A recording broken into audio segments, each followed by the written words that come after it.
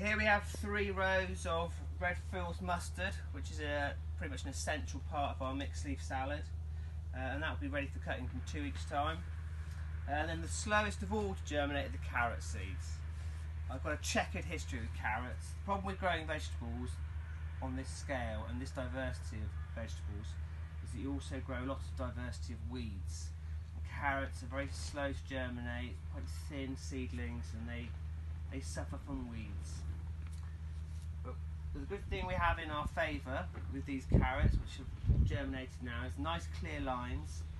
Basically, about uh, 10 days after sowing, I flame weeded in here, and that means that I, after drilling all these crops, overhead irrigation goes on, seeds take on the water, starts germinating, because these are the slowest to germinate.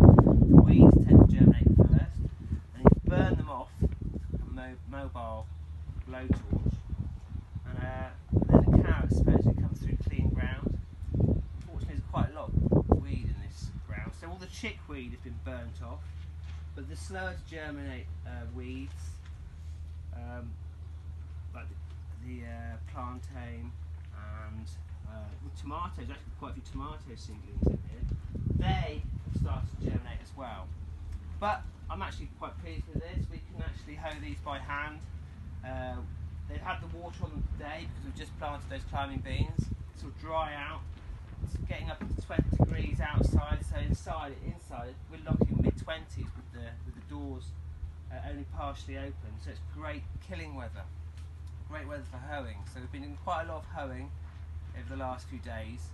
Because when it's nice and warm like this, you run a hoe in a dry soil, you totally kill kill weeds. They can't.